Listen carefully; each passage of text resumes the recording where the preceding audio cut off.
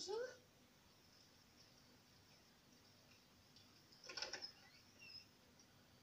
Bonjour, Réo.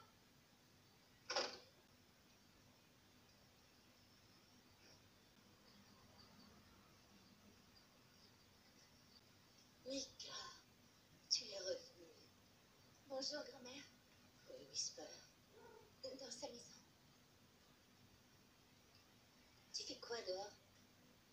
Me disais que peut-être